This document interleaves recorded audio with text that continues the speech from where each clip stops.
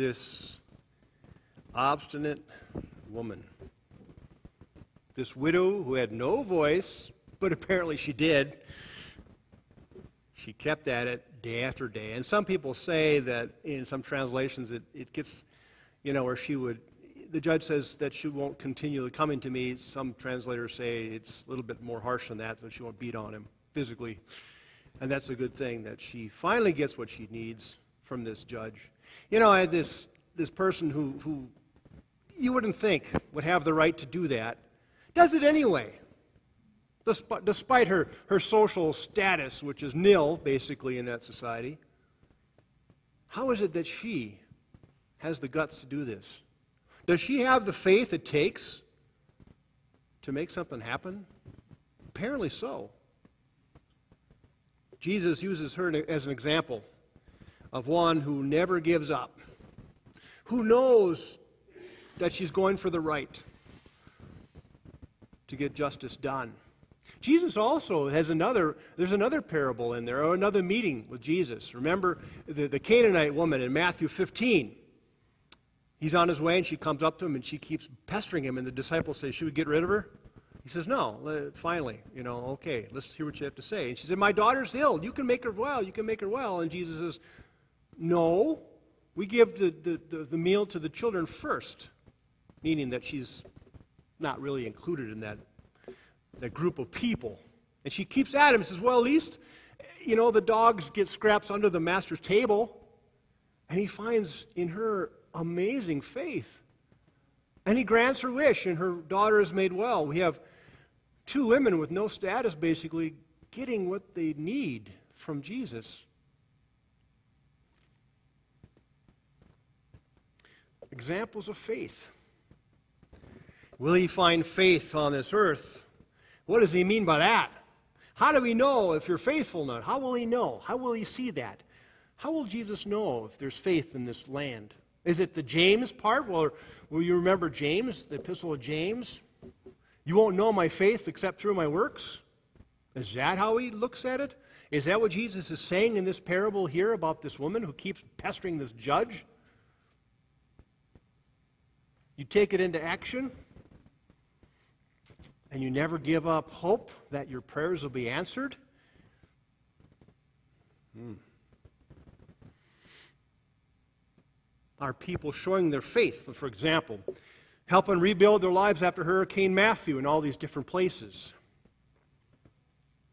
Or the natives unifying their, their, their nations to, to preserve their sacred lands.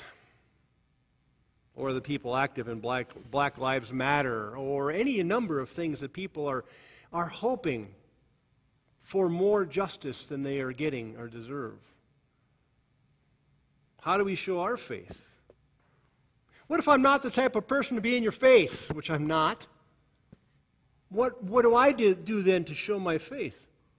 It's not going to be pestering a judge to get what I need. It's not going to be picketing uh, in someone's face. What does it look like for me and others who are eh, not quite as forward as that? Jesus talks about the power of prayer and hope. And we sense that when we are praying, there is hope attached to it. Why else would we pray if there wasn't hope attached? If we had no hope, we wouldn't bother praying because there's a glimmer of, of it to a God who, who helps us, who, unlike the unjust judge, will give us and give us what we need in abundance. It says quickly. And we wonder, how quickly is that for us? Faith and action. Um, went to the Cherokee Nation a few years ago, and there's an elderly couple in their 90s who couldn't do much to help. They prayed, and they sent money, and they sent some other things. There was always a way that they could show their faith in action to make things happen. I know for these kids that go on trips or people go on trips, there's always somebody behind the scenes making it happen. Somehow. There's the, the shut in people who are shut in who can't move about, who send cards on birthdays or, or to say hi or to, to call and check on people. And that's faith in action. It's a powerful thing. My last year of seminary, I was burnt out. Working, going to school, having a baby girl to take care of. I told my dad, I can't, I'm not if I'm going to make it or not. He sent me a card. Just a simple card. I know you can do this. I know you can do this. You'll get through this. And something that simple 15 years ago or whatever it was was so meaningful to me. It didn't take much to boost my spirits and know that I am supported and loved and that I de- could indeed make it through. And how often does that happen in our life? Something small where faith is, is the size of a mustard seed and something, some action is just small, but it makes a big difference anyway. The question is not about God's vindication about the persecuted community. We're talking about the, the, the, uh, the golden calf that, that Sue read. Or not the golden calf. Um, where am I? All right. Will Jesus' disciples remain faithful in spite of the long haul? And that's kind of what he's saying is, you know, you keep hope, you keep prayer to keep going.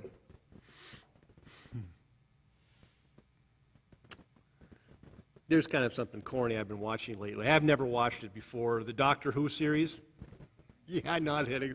Heads are nodding. What's intriguing to me is this character, Doctor Who, is, is a very spiritual person. Doesn't use weapons, is kind of on the side of reconciliation, and he's, he's a Time Lord, and there's another Time Lord, he thought he was the last one. And his mentor is a Time Lord too, and he's, he's kind of gone to the dark side a bit. And he's actually entrapped Doctor Who and it made him, instead of this person kind of body, turns him this little fragile, uh, helpless being. And of course, Doctor Who, Who has a couple of people with him, and he, he whispers in the ear of one of his friends, and you don't know what he is whispering that, that episode, but the next episode you find out. What he's whispered to her is she was to go out into the world and spread the news to give all your good thoughts to Doctor Who at one specific moment in time, so that millions of lives would focus their, their love and attention on this one being. And it so happens at this particular time, he, he becomes himself again. The power of, of people's thoughts and prayers have restored him to, to his original self with power and, and authority and, and all this kind of thing. And his mentor is now cowering under the gun of, of his compatriots. And they say, just, let's, let, let's just do away with him. Let's just get rid of him. And Doctor Who says no, and he rushes to him and says, I forgive you. It's a turn of events you don't expect, especially in today's modern t- television series, where the easy thing is just to, you know, do away with him. He goes up to him and says, I forgive you. After all this time, it had been years of, of being this scrawny little thing, and now he's ready to forgive the one who put him there. The power of prayer has given this man a sense of, of well being, of peace, of, of, wholeness, that he's able to come out of it and, and, and forgive those who put him there, and to grieve if something happens to his friend. I'm quite taken with Desmond Tutu, first Archbishop in South Africa, black Archbishop of Cape Town. His admirers him as a great man who, since the demise of apartheid, has been active in the defense of human rights and uses his whole high profile to campaign for the oppressed. He campaigned to fight AIDS, HIV, tuberculosis, poverty, racism, sexism, homophobia, and transphobia. In May of 2001, Journalist Giles Brandreth interviewed South African Anglican Bishop Tutu. It was a powerful experience for Brandreth, for Desmond Tutu was suffering from prostate cancer, and there was a real chance this might be his last interview he would ever give. What might Tutu talk about? Perhaps the amazing transformation in the politics of his country, and of which he himself had a leading role? No. Here's what he told Brandreth if this is going to be my last interview, I am glad we are not going to talk about politics. Let's talk about prayer and adoration, about faith, hope, and forgiveness. For Tutu, these are the things that are stuff of life.